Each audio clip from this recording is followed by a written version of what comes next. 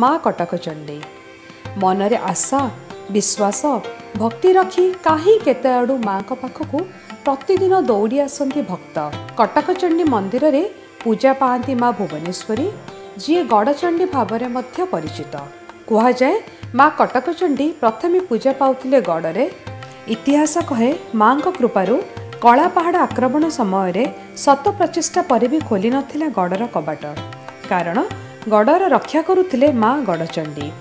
ରାଜା ରାଜୁଡ଼ା ସମୟରୁ ବାହ୍ୟ ଶତ୍ରୁଙ୍କ ଆକ୍ରମଣରୁ ରକ୍ଷା ପାଇବା ପାଇଁ ମନ୍ଦିର ଚାରିପଟେ ନିର୍ମାଣ କରାଯାଇଥିଲା ଗଡ଼ଖାଇ। କଟକବାସୀଙ୍କ ଆରାଧ୍ୟା ଦେବୀ ମା କଟକଚଣ୍ଡୀ ଓ ଗଡ଼ଚଣ୍ଡୀ ସାରା କଟକକୁ ବନ୍ୟା ବାତ୍ୟା ଦୈବ ଦୁର୍ବିପାକରୁ ରକ୍ଷା କରନ୍ତି ବୋଲି ଲୋକଙ୍କ ବିଶ୍ୱାସ ରହିଛି। ପ୍ରତି ଗୁରୁବାର ଓ ସଂକ୍ରାନ୍ତିରେ ବହୁ ସଂଖ୍ୟାରେ ଏଠାରେ ଦର୍ଶନାର୍ଥୀଙ୍କ ଭିଡ଼ ଜମେ। ଫୁଲମାଳ ଓ ଘିଅ ଦୀପରେ ମାଙ୍କ ସନ୍ତୁଷ୍ଟି ବୋଲି ଭକ୍ତମାନଙ୍କର ଅଶେଷ ବିଶ୍ୱାସ ରହିଛି। ବାରବାଟୀ ଦୁର୍ଗ ଓ ବାରବାଟୀ ଷ୍ଟାଡିୟମ ବୁଲିବାକୁ ଆସୁଥିବା ସମସ୍ତ ପର୍ଯ୍ୟଟକ ଜୀବନରେ ଥରୁଟିଏ ହେଲେ ମଧ୍ୟ ମା କଟକଚଣ୍ଡୀଙ୍କୁ ଦର୍ଶନ କରିଥାନ୍ତି। ଲକ୍ଷ ଲକ୍ଷ ଲୋକ ମାଙ୍କର ଆଶୀଷ ଗ୍ରହଣ କରି ନିଜକୁ ଭାଗ୍ୟବାନ ମନେ କରନ୍ତି।